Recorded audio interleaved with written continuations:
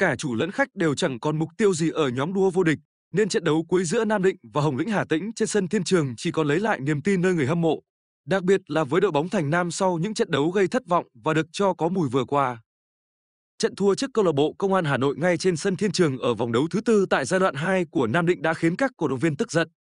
Họ đã giải tán hội cổ động viên Nam Định và cho biết sẽ không đồng hành cùng đội trên sân Thiên Trường cũng như cả mùa giải 2023.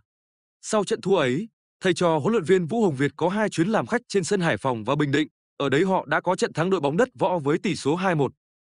Ở hai trận đấu trên sân khách, người ta thấy vẫn có những khán giả đồng hành cùng đội bóng Thành Nam, nhưng lại không được những thành viên của hội cổ động viên Nam Định công nhận. Vì thế, thầy trò huấn luyện viên Vũ Hồng Việt đang cố gắng lấy lại niềm tin đã mất từ chính những khán giả của họ. Những người luôn đồng hành cùng đội bóng từ những ngày tháng gian khó nhất, nhưng nay khi nằm trong nhóm đua vô địch họ lại để đánh mất tài sản quý báu nhất của mình. Do đó, ở trận đấu chẳng còn mang tính đua tranh này, Nam Định vẫn đang quyết tâm phải giành 3 điểm để có thể thấy lại những niềm tin đã mất từ người hâm mộ của họ. Đồng thời, việc giành chiến thắng sẽ giúp đội bóng Thành Nam tiếp tục giữ vững vị trí thứ 6 tổng sắp, thậm chí có thể vượt lên vị trí thứ 5 nếu Hải Phòng sẩy chân trước Bình Định. Trong khi đó, Hồng Lĩnh Hà Tĩnh đã có 6 trận liên tiếp chưa biết mùi chiến thắng, trong đó có một trận thua.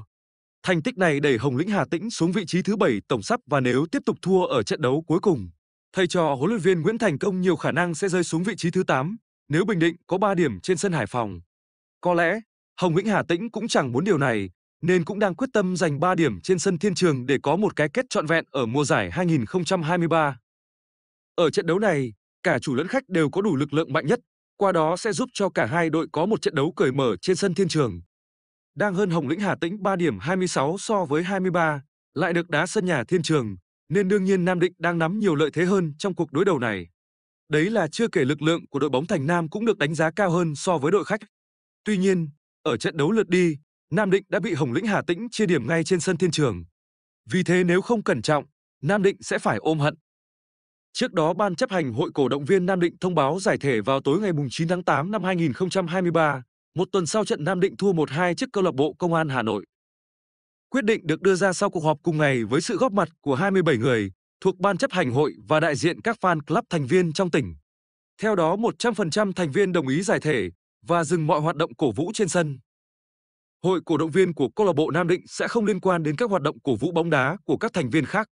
Ngoài ra, hội sẽ bàn giao lại văn phòng đặt ở sân Thiên Trường cho ban quản lý sân, không giữ tên fanpage là Hội cổ động viên bóng đá Nam Định mà đổi thành bóng đá Nam Định xưa và nay.